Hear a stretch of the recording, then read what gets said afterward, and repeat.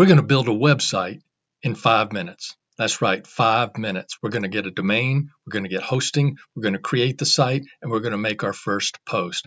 Hey, my name is Max. I'm with beachlifeincome.com, and we help people build simple passive income streams. That's what we do. What is simple passive income streams? Well, basically, the idea of making money while you sleep. And we teach that on our site. Take a look at it. We offer a free tutorial. All you got to do is go to the site. The link's in below beachlifeincome.com and sign up for our newsletter and we'll send you the link to our free course and you can get started. No credit card necessary, no cash necessary, nothing's necessary other than to sign up. Now, what are we doing today? We're going to build a website. A lot of people are intimidated by building a website. And I tell them, look, if you can create an email and send it, then you can create a website today. And in our course, we talk a lot about why you need your own website when building affiliate marketing income or building a, a, web store or building whatever it is that you want to do online. You don't want to use someone else's platform. So we teach people to build their own website as well. And that's what we're going to do today. Now, in the description, I have a link that is to the web hosting company that I use. And if you click on that link, bring it up in another browser or another tab in your browser, you'll be able to go side by side and watch me go through all the steps. And you can always stop the video and take a look and say, hey, okay, let me make sure I'm on the right page here and putting in the right information. And if you follow those steps, believe it or not, within minutes, you're going to have your own website up and running. That's what we're going to do today. Now, I'm going to show you how it's done. I'm going to go very, very slow, and yet we're still going to go within minutes. And I'm going slow so you can follow along. So once again, hit the link below, bring it up in another browser or bring it up in another tab and go step by step. And I'll see you at the end. Also, if you like this video or any of our videos, go ahead and subscribe, hit the notification button so you don't miss any of our money making opportunities and helpful advice on how to make more money and simple passive income. Also, if you have any questions, ask them in the comments below. We'll be glad to help you out. So after clicking the link, you'll be presented with this page. And you want to click Get Started.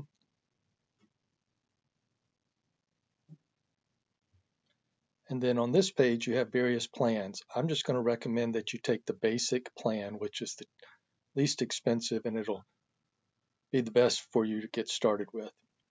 So click that plan. So click the basic plan. And now you're presented with a screen where you need to create a domain. Now, a domain is the name of your website, like Amazon.com or eBay.com.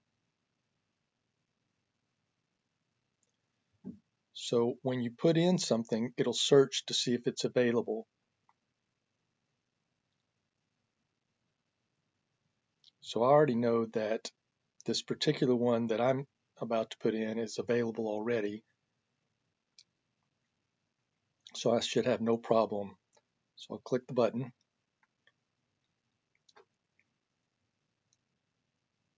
And sure enough, it's available, zanyquiz.com. So I'll select that one. It's going to be easy enough to get. And now you just need to put in some account information. I'm blurring it out for privacy. And then the next part is to actually select the plan. So you can do 12 months, 24 or 36. I'm going to do the 12 month, even though it's a little bit more expensive.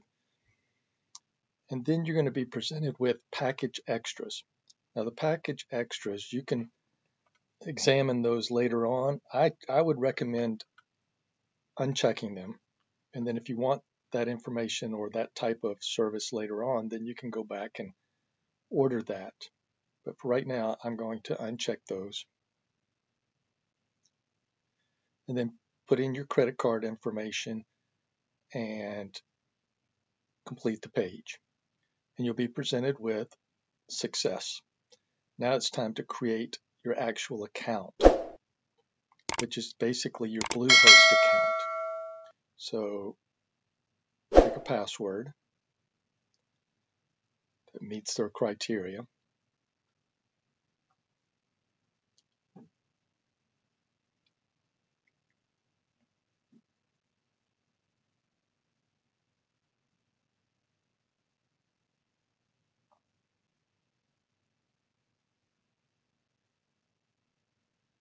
And create the account. And then it's going to ask you to sign in to your account that you just created.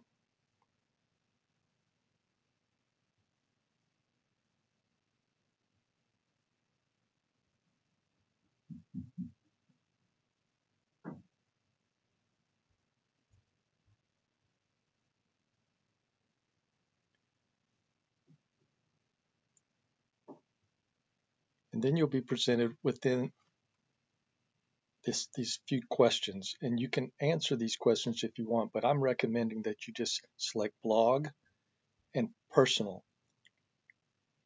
and for myself. And then you can click continue. You don't have to do this at this point, but what it does is it automatically installs WordPress, which is ultimately where we're trying to go with this. So it presents you with the fact that you've selected a blog and that's all you need for right now. So you can either continue on with their questions, but I would just skip this step.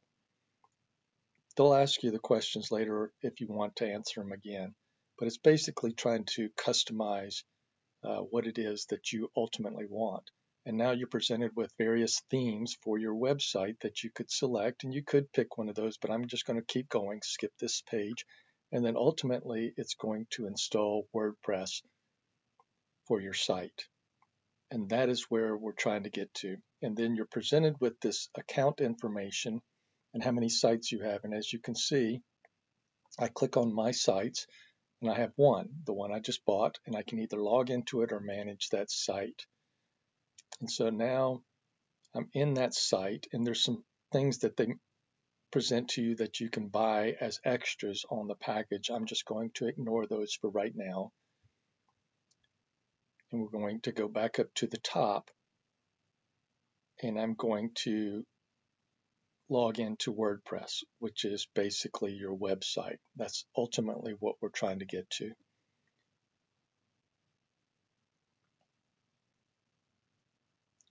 And here we are. We're inside of WordPress. So now we're inside WordPress. So you see zanyquiz.com. And by the way, if you ever want to get back to the inside or the dashboard of your website, all you have to type in is the name of your domain slash wp dash admin slash, and it's going to bring up a password and username, and you place that in and hit enter, and you're good to go. You can also reach it through the Bluehost account that you signed up for as well two different ways. It doesn't really matter. So once you're inside, you have several options. And today, all we're trying to do is quickly show a few uh, things that someone can do quickly. So the biggest thing that you're going to do inside of WordPress at the beginning is pick a theme and then create post or a content. And then you might create a page and also some menus. And this is not that demo that we're going to go through and, and show you all those different functionalities, but those are the main things that you're going to do within WordPress. And what I want to show you is quickly, I want to show you post. So in order to create a post, it's best to create a category. By default, you have an uncategorized uh, category, and you can edit that and just call it whatever. So we're going to just call it blog. So that all our posts are going to go under this blog post and you put a description and so forth, but we're just going to go through real quick. So my category now is blog. And I could have many categories. If I had a food blog, for instance, I would possibly have, let's say, Chinese food or Mexican food as two different categories, or uh, sushi as a third category. So now we have I'm not sure if I clicked that and created the update or not. Okay, so now we're going to go and create a post. So add new.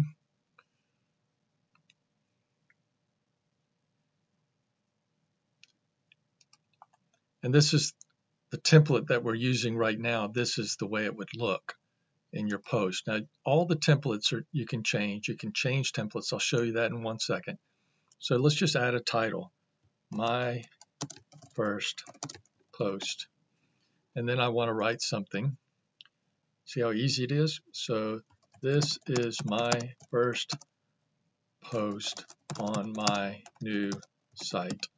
Now, you can get as fancy as you want, but I'm just going to click here and you could add a paragraph or WordPress forms or opt in or some image or gallery or heading and all these other possibilities if you click browse all. But I'm just going to come in real quick.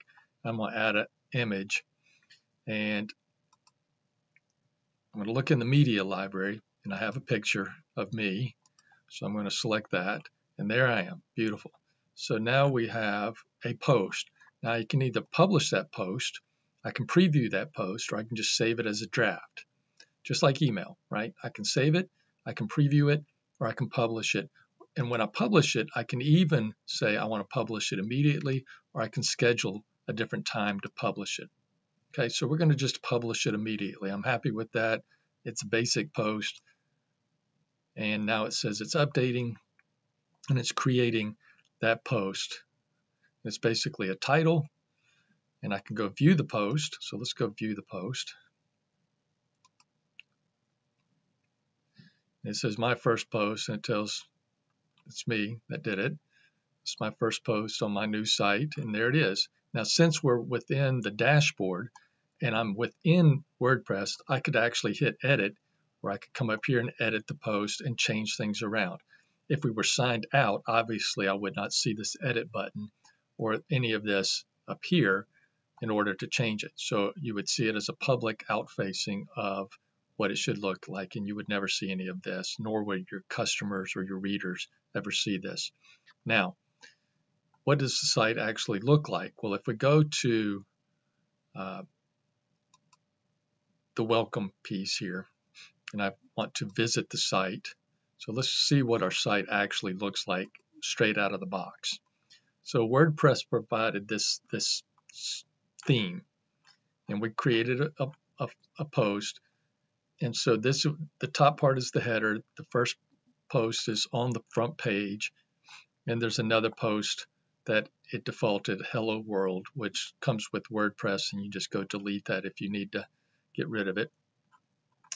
So now we have a post, and it's under the category of blog. Now, what else can you do quickly? Well, we talked about themes. Now you can buy themes or you can get free themes. It's up to you. And I prefer free themes unless I'm doing something really big. So if I were going to have a food blog, I would go buy a food blog theme and I would go research which themes are being used by the best food blogs out there. And there are certain ones, there's two or three that are used over and over and over, and they're optimized for food blogs. And the same is with makeup. If you're I have a YouTube channel about personal beauty and so forth. There are certain blog templates for WordPress that are optimized for those kind of channels. So you might want to just go search, but basically within WordPress, you have themes. Now, under appearance, you'll see themes. So I could have clicked here and now if I want to go to Bluehost, it also has themes, but those are going to be the ones that are uh, have a charge to them. So if you want the free ones, just come down to appearance and themes. So the default one for WordPress is 2020. Okay, makes sense. It's the year 2020 when we made this. I like magazines, so uh, I've used this many times. So this is the way it looks currently in 2020, our current theme. Let's say I wanted to ch change to magazine theme. Okay, so I can look at it before I actually change it. So if I want to just preview what it would look like real quick, now remember everything's customizable within WordPress. So in this case, I have a bunch of stuff I'd probably get rid of here. Here's the beginning. And then my first post in the Hello World, which came as a, a created post when it was installed. So now, uh, if I'm happy with that theme, and I'm just going to pretend like I'm happy with that theme, I would just activate and publish. So what's going to happen? Well, it's going to go from the 2020 theme to my new theme, which is magazine. If I'm not happy with that one, I go to pick another one. Or if I want some professional one, I go buy one, which typically they're 35 to dollars to $100 for a theme. But when you buy a theme, sometimes they're so configurable, it might take you a while to get used to, well, what do I do to make it look like what I ultimately want it to look like? For the purpose of this video, I just want you to see that we can change the theme. Okay, there's plenty of uh, YouTube videos. There's plenty of uh, uh, theory. I mean, there's plenty of YouTube videos out there that explain how to change things in WordPress. There's plenty of tutorials uh, online. Uh, you can get all the instruction you want. I have tutorials within my membership site. Uh, so you can search all different ways to find out how to make your WordPress blog look the way you want. Now, what else do we have? Well, we have menus. So at the top of your blog, you might want to have a menu. So I'm going to create what's what I normally call home. That's my first menu. So I'm going to create the menu. It's going to be my primary menu. So now I'm just waiting for it to create that menu.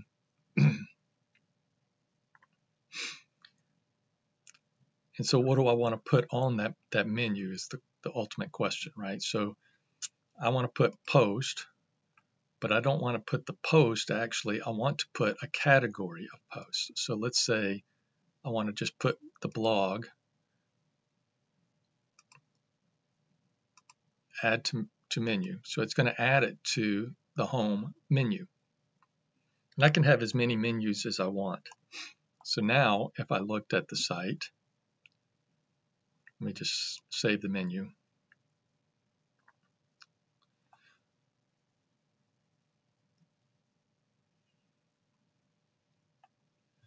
Now, if I was going to look at the site, you'll see that I have a new menu at the top.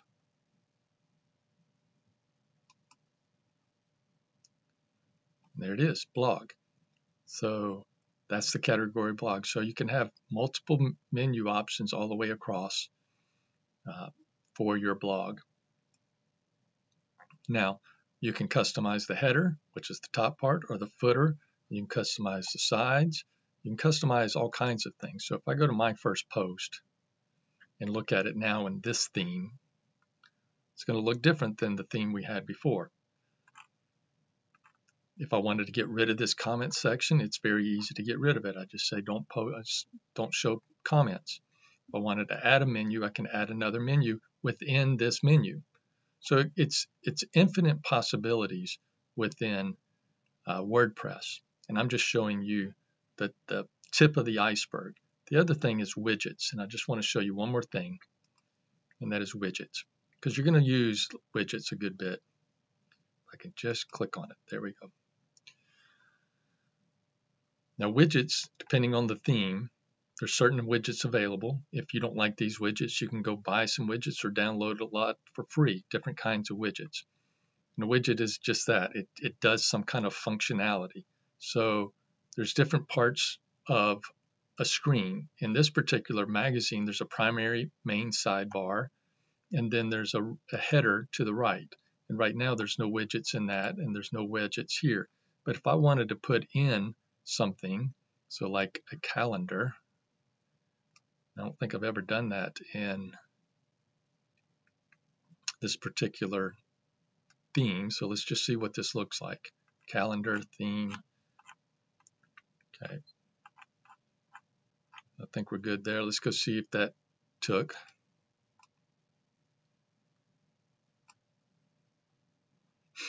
There it is. There's the calendar on the right, basically. Okay, so now if I wanted to get rid of it, I just go back to my widgets and I get rid of it and I put something else in its place. So I hope this is encouraging to you. I know I've threw a lot at you, but once again, it's real simple. A WordPress site is so easy to use. You just click, you add a post, you add a page. If you wanted to add a, an About Me page, I'll just show that real quick. So there's posts and pages. That's the two main categories of things. So typically in, in a page, you're going to have an About Me page.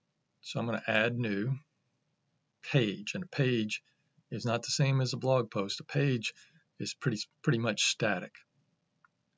So I'm going to add an About page. About You've seen about pages on most websites. This is a site about funny riddles and laughs. I don't know. And then you could add an image or whatever. And then if I want to publish it, so now I have an About Me page. Now the question is, is my About Me page on the menu? Well, if I look at it now,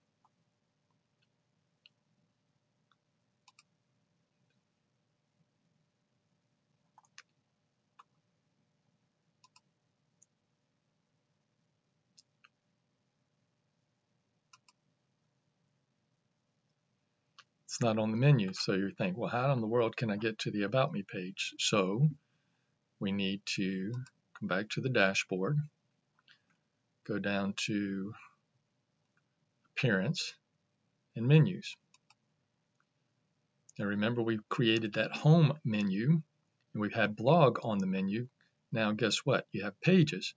So do I want to add the About Me page on the menu? Well, yes, add to menu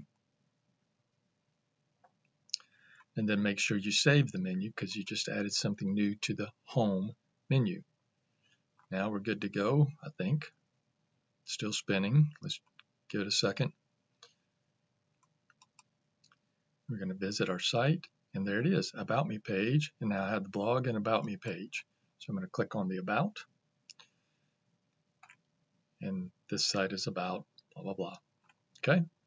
Now, once again, it's all customizable. There's all kinds of things you can learn about WordPress, but keep in mind the main thing that you're trying to do is get content out in front of people. Some people worry too much about how their site is going to look. Is it going to be pretty enough? Don't worry about that. What you should be concerned about most is content. Content is what is found on the internet through Google or any other search engine, and content is what brings your readers back.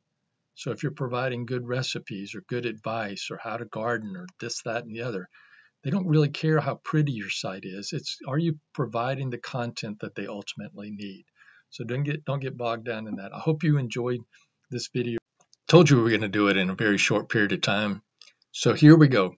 This is what you need to do next. Go to beachlifeincome.com. Sign up for our newsletter. I'm going to send you a link to our affiliate course. You can get started for free no obligation whatsoever, and you don't have to have a credit card or any kind of payment to get started.